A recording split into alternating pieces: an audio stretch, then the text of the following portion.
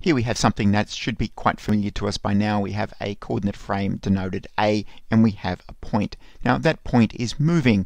It's got a spatial velocity, nu, with respect to frame A and I denote it this way. It's got translational velocity component x dot and y dot and a rotational velocity component theta dot but I represent that by a single arrow. Now I'm going to introduce another coordinate frame, a red coordinate frame denoted B, and we have a relative pose that describes the pose of frame B with respect to the pose of frame A.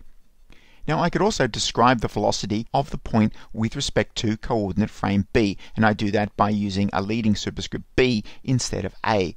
Now, the velocity of the point with respect to frame B is related to the velocity with respect to frame A, and it's related by a Jacobian matrix, a Jacobian that maps velocity from one frame to another.